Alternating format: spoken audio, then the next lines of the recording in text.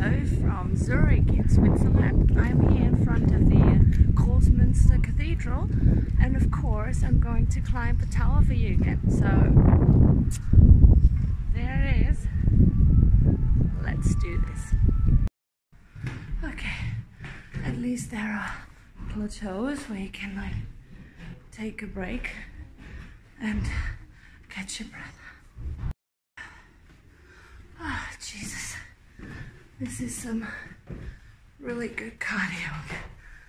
Oh my god. We are here. I'm upstairs, all the way up on the tower, and the view is beautiful. Have a look.